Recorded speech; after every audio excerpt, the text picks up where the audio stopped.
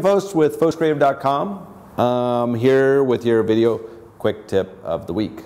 And Essie's like pointing at my light that I'm going to bring in and show you because everybody's always asking me, how can you do amazing light? Do I need like huge strobes?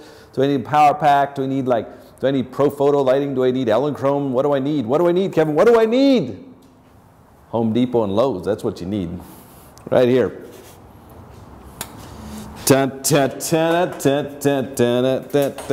You need a you need a shop light.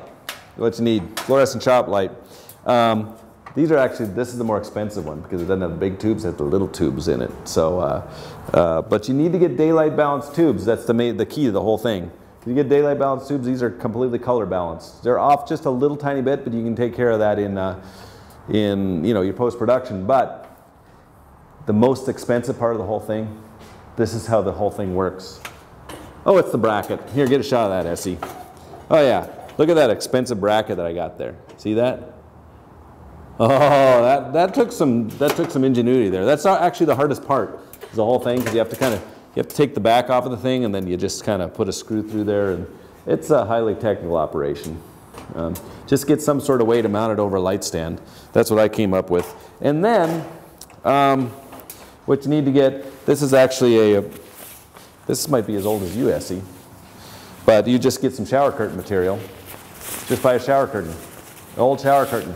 And you take it and you throw it over top, like so. You little A-clamp or tape or something, hold that back, and you have yourself the most amazing light you can even imagine. Get a couple of these, get three, four, build like a little square, shoot between it like a big ring light.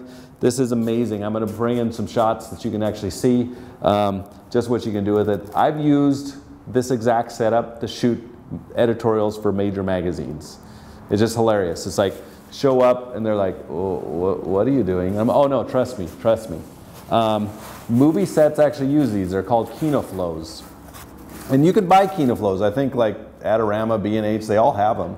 They're about $2,000 and they have like four tubes in it. They have a rheostat on the back so that you can adjust the light. You can turn two on, two off. It's like, well, I'm kind of thinking you're probably with a fluorescent, you're going to want all the power you can.